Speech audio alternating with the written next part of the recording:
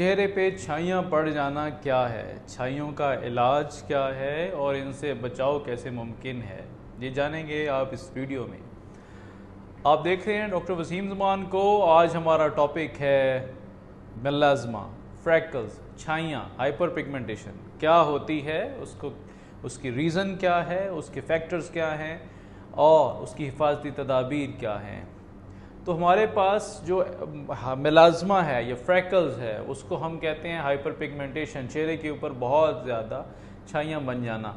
उसकी रीज़न्स क्या है कि हमारे जिसम में एक हार्मोन होता है, जिसको मेलानिन कहते हैं। मेलानिन की प्रोडक्शन जो है हमारे जिसम में काली रंगत को बनाती है। अगर हमारे जिसम में मेलानिन ज़्यादा प्रोड्यूस होना स्टार्ट हो जाता है तो उसकी वजह से हमारी पिगमेंटेशन ज़्यादा होना स्टार्ट हो जाती है उसमें ब्लैक या ब्राउन रंगत हो जाती है। इसके चंद एक अवामिल हैं कुछ बैरूनी हैं और कुछ अंदरूनी हैं। बैरूनी में क्या होता है कि धूप में ज़्यादा निकलना उसके ज़ेर असर रहना जल्द पर कोई ज़ख़म हो जाना उसका निशान। कास्मेटिक क्रीमों जिसमें शा, शामिल केमिकल्स की वजह से आपकी की रंगत काली होना। बेटनोवेट डर्मोवेट बीटाडर्म आर्ची क्रीम्स ऐसी क्रीम्स का इस्तेमाल भी आपकी जल्द को मज़ीद सेंसिटिव करता है और उसकी वजह से मज़ीद रंगत काली होने का इम्कान है। कुछ अवामिल जो अंदरूनी हैं, औरतों में ख़ास तौर पे एस्ट्रोजन हार्मोन की ज़्यादती की वजह से। दूसरा, हमल के दौरान खून की कमी या और हार्मोनल इम्बेलेंस की वजह से। तीसरा, हमल रोकने वाली अद्वियात का इस्तेमाल।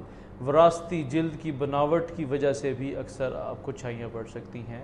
फॉलिक एसिड, आयरन, कैल्शियम की कमी की वजह से भी आपको छाइयाँ पड़ सकती हैं।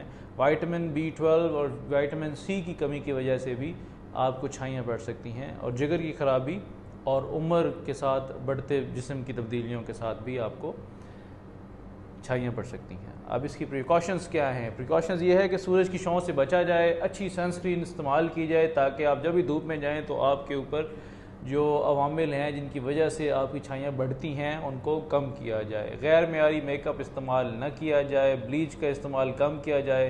इश्तहारी या बाज़ारी क्रीमें जो टी वी पर आपको शो हो रही होती हैं, उनसे कम इस्तेमाल किया जाए। नानी मनसूबाबंदी की गोलियों के अलावा कोई मुतबाद ज़रिया अपनाया जाए।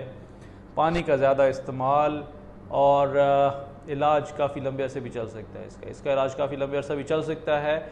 ट्रीटमेंट इसका क्या है? एक मरतबा जब ब्राउन या स्याह चेहरे पर पड़ जाए तो उसे ठीक होने में टाइम लगता है। काफ़ी लंबा अरसा दरकार है और ऐसा नहीं है कि एक बार ठीक होने के बाद ये दोबारा नहीं आ सकती, लेकिन जब बात एहतियाती होगी तो वो दोबारा भी आ जाएँगी। तो आपने एक तो सनस्क्रीन अच्छी सी यूज़ करनी है, जिसको हम सन प्रोटेक्शन फैक्टर चेक करते हैं उसके अंदर कि कौन सी है। मिनिमम 30 हो और मैक्सिमम 60 हो, उसके ऊपर जो भी आप इस्तेमाल करना चाहते हैं। धूप में जाना है, चूल्हे करीब आपका इस्तेमाल ज़्यादा है तो हर दो से तीन घंटे के बाद आप वो इस्तेमाल कर सकते हैं।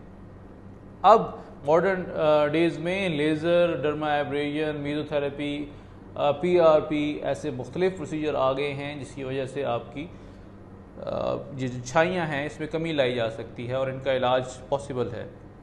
लेकिन इस, अगर आप इलाज करवाते हैं तो उसके बावजूद आपको वो अवामिल तर्क करने होंगे, जिनकी वजह से ये छाइयाँ ज़्यादा होती हैं। मज़ीद इस बारे में अगर आप कुछ पूछना चाहते हैं, कुछ जानना चाहते हैं तो आप हमें कमेंट्स में बताएँ। अपने सवाल हम देंगे आपके जवाब और नेक्स्ट टाइम इन किसी नई बीमारी के साथ आपके साथ शामिल होंगे। फ़ी